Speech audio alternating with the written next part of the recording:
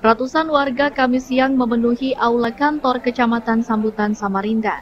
Pedagang kaki lima ini menerima bantuan langsung tunai sebesar Rp300.000 per keluarga. Bantuan yang di luar dugaan ini membuat warga senang karena sangat membantu meringankan beban mereka setelah harga minyak goreng melambung tinggi.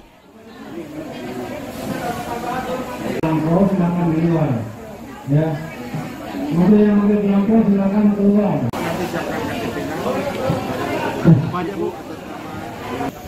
Uh, saya banyak-banyak terima kasih. Hmm? Saya mendapatkan bantuan dari pemerintah uh melalui TNI hmm? banyak 300 300 ribu. Hmm. Itu betul saya terima kasih. Nah, bang, abang selama ini berdagang apa? Saya berdagang untuk pentol rebus. Oh, pentol rebus. Ya. Di daerah mana, bang? Daerah taman ekologis. Hah? Jadi keliling ya? Bukan, saya mangkal mas. Oh mangkal. Oh, oh. Komandan Koramil 090104 Samarinda Utara dan Sambutan menyebut, bantuan langsung tunai ini berasal dari pemerintah yang disalurkan TNI.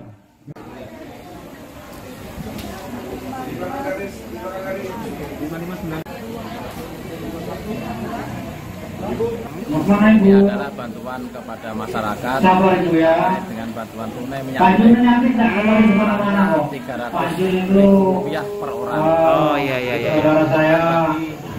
Pedagang kaki lima yang punya usaha usaha kecil sehingga uh, uang tiga ratus ribu rupiah ini bisa dipakai untuk menambah modal. Menambah modal ya. Oh.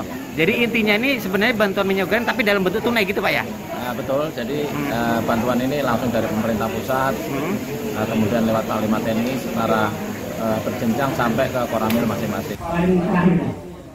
Untuk wilayah ini, bantuan disalurkan pada 1.206 orang pedagang kecil dan asongan. Untuk mengurangi kerumunan, penyaluran digelar tiga hari. Amir Hamzah dan tim liputan melaporkan dari Samarinda. Misalnya minta belangkonya sama misalnya.